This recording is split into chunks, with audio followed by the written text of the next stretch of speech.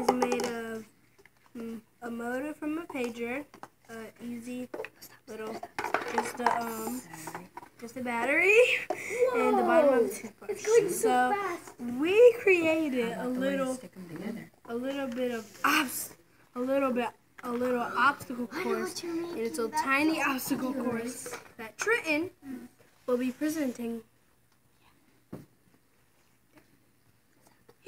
Um, so it's just a paper folded into a triangle and two ketchup cups, pretty much. to basically go through the cups without making them without making them fall or go through. So that's. If it'll, if it, what? If it fits though. oh, it went through pretty nice because I mean, and we're gonna see if it'll go through, if it'll go in a circle here. Obviously it won't. Watch this. It's actually going a little slow.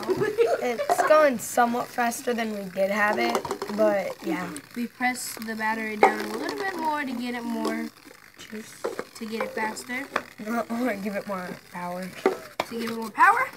So now on, we're It gonna won't see really, how fast it goes on the put time. an obstacle course. See if it- It's not set up. Ah, So we'll see all the cups and stuff. It's um, going pretty so fast. it's it's like observing it. Pretty much, Observing, it's like getting the good grip of its area that where it can go. and we're gonna see if it stays on here while being on. You are daring. You are just daring this robot to fall. You're daring it to fall. Okay. See, Okay, it's so still observing. That's the way to make a robot. That's how we made a robot, and this thing should stop now.